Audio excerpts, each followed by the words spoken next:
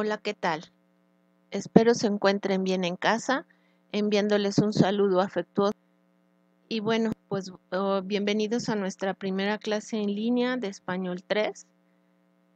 Este tema ya lo hemos trabajado en clase, son los formularios o como se lo, hemos mencionado en el salón, son solicitudes. Eh, eh, esta es nuestra última sesión de este proyecto y vamos a, a, ver qué es lo que, lo que tenemos. ¿De acuerdo? Ok. Las características y función de los formularios son documentos que contienen espacios en blanco donde es la info que ahí se solicita. Hay formularios en papel y formularios electrónicos, pero ambos tienen la finalidad de recabar datos. Las características de los formularios son que están diseñados para un procedimiento específico. Deben ser sencillos y solicitar la información en orden secuencial. Deben tener espacio suficiente para llenar la información que solicitan. Debe estar codificado bajo un esquema, un diseño adecuado. La redacción sobre, los, sobre la solicitud de datos debe estar diseñada para reducir las posibilidades de error, organizan la información gráficamente, es decir, que pues están con algunos recuadros, con algunos, eh, pues para llamar la atención. Incluyen el logotipo o emblema de la organización que solicita la información. La función de los formularios es recabar los datos necesarios para llevar a cabo la actividad correspondiente que se solicita, que puede ser originar una acción, registrar una acción o informar, los resultados de una acción.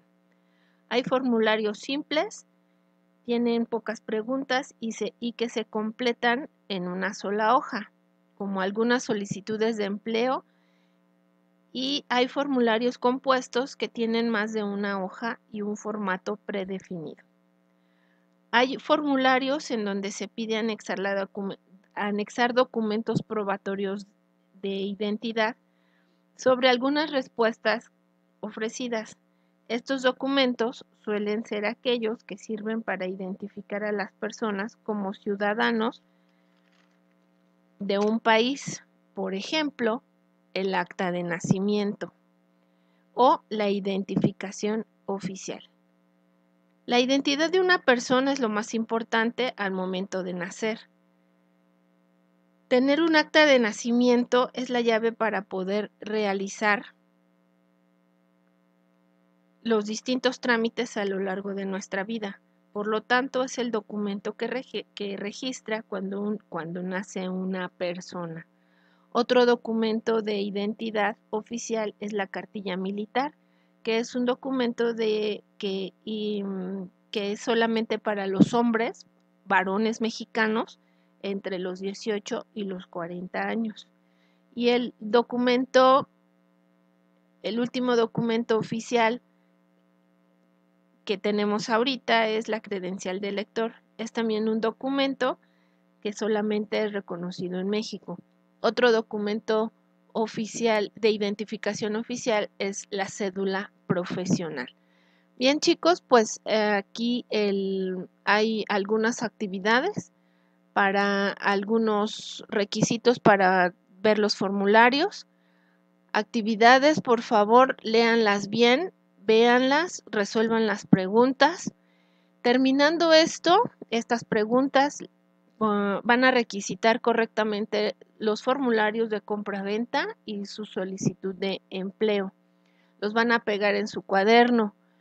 Después de eso van a hacer la, portada del siguiente proyecto titulado Obras literarias, espejo a través del tiempo.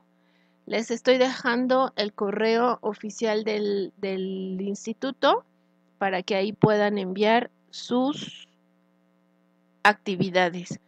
Eh, tienen hasta el día lunes para enviarlas antes de las 2 de la tarde. Después de eso, yo empiezo a revisar su trabajo. Buenas tardes y nos vemos en la próxima. Hasta luego.